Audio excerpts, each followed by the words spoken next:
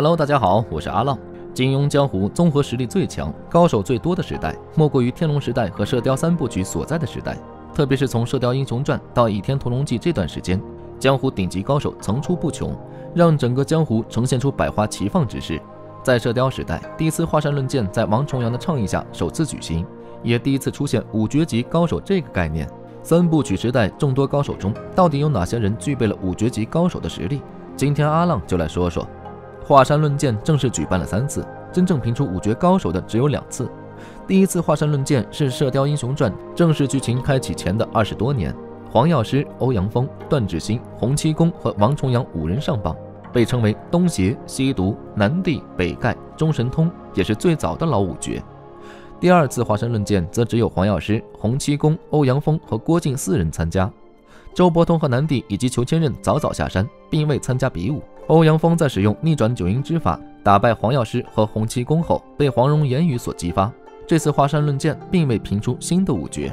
第三次华山论剑在神雕时代末举行，与会众人经过友好讨论后，一致推举周伯通为新五绝之首，封号中顽童。而郭靖接过他师父洪七公的位置，成为北侠；杨过则接过他的义父欧阳锋的位置，成为西狂。另两位老五绝黄药师和一灯大师也位列其中，封号东邪和南僧。这五人也被称为新五绝。从第一次华山论剑到第三次华山论剑，这其中的间隔超越了五十年。尤其是其中还有黄药师和一灯大师这样蝉联两届五绝的人，足以说明一个事实：新老五绝的实力并非一成不变，而是有质的提高。如此一来，要说出射雕三部曲时代有哪些人具备五绝级的实力，就得先确认两点：第一，五绝应该指的是老五绝。分别是东邪黄药师、西毒欧阳锋、南帝段志兴、北丐洪七公、中神通王重阳。第二，级别没说具体说明是什么级别，我暂且按武功为标准。因为射雕三部曲时间跨越百余年，所以五绝实力暂按第二次华山论剑为标准，其余人物战力按最强的阶段进行考虑。另外是武功综合实力排行，不按战绩，因为小说作品内的武功相可以说，比如一阳指克制蛤蟆功，但也不能说一灯就比欧阳锋武功高。由此来看的话，五绝水平的有：一金轮法王，作为神雕 BOSS，内力已达到欧阳锋水平，招式是短板，实力常被人低估。无奈杨过开挂，又有主角光环，只有被虐的份儿。综合实力后期稍逊于杨过，达到五绝水平。二空剑神僧，倚天少林派第一高手，百年难得一遇的武学天才，身兼少林九阳功、少林大力金刚指、少林龙招手以及少林古今五大神功之一的金刚不坏神功。实力非常强悍，尤其是少林金刚不坏神功，几百年来少林寺无人练成。但是空见神僧不仅练成了，而且还练得出神入化，炉火纯青。三裘千仞，表面上稍逊五绝，实际实力上已达五绝水准。四林朝英，古墓派创始人，能创立一个门派，说明这人已经很牛逼了。虽然尚未出场，武功实力表现出全真教王重阳徒子徒孙之口。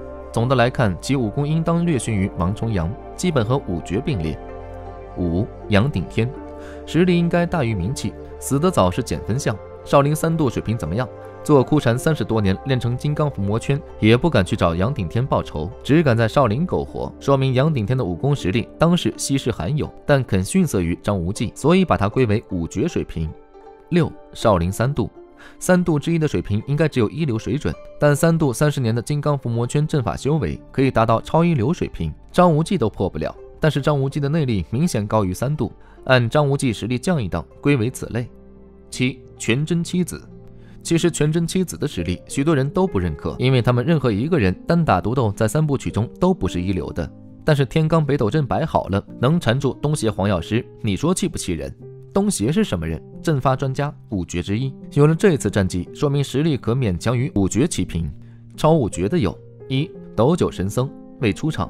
九阴真经创始人，但看看九阴真经有多牛逼就是了。集融会贯通的武学智力，练成后天下武学复时皆可用。此经还附缩骨功、游强功，不足十分之一的经文足够壮大少林派，是武当峨眉开宗立派的奠基。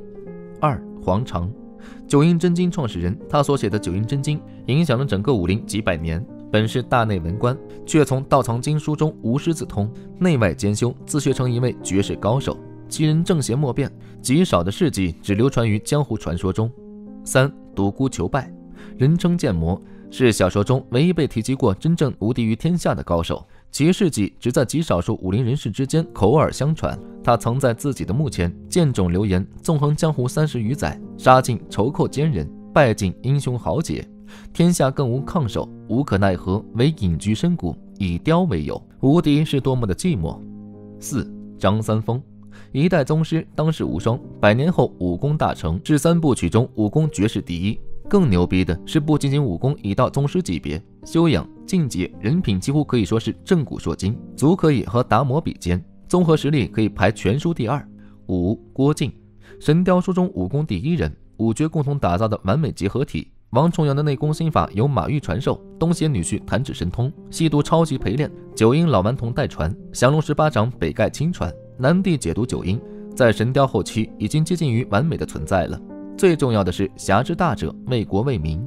六杨过作为神雕的主角，自然带有主角光环。在学过许多武功之后，创出属于自己的武功——黯然销魂掌，这是很多高手做不到的，而且有实战加持。在神雕后期，实战一次比一次牛逼，助小龙女战金轮，百招制服裘千仞。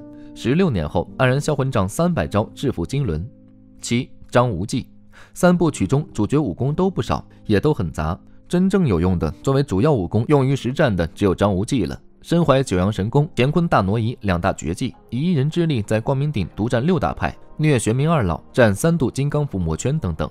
如果可以能够夺取天下的人，开挂的人生不需要解释。三黄山女，身份之谜，武功之高，非常人所能及。既然是神雕大侠杨过的后人。黄山女的武功定然尽得真传，按时间推断，至少是杨过的孙女，二十六七岁居然有此武功，侧面表示黄山女恐怕要青出于蓝而胜于蓝。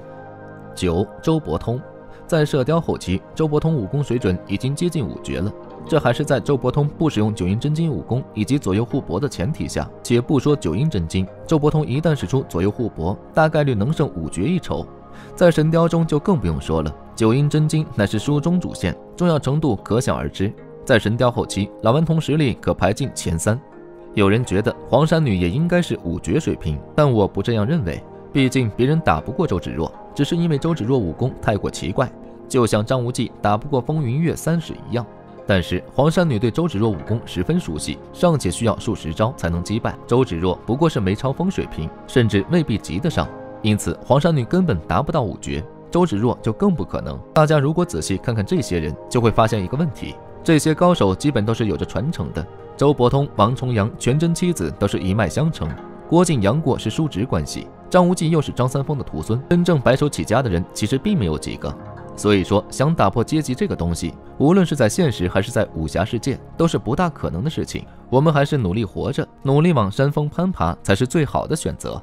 好了。本期就到这里，我们下期再见。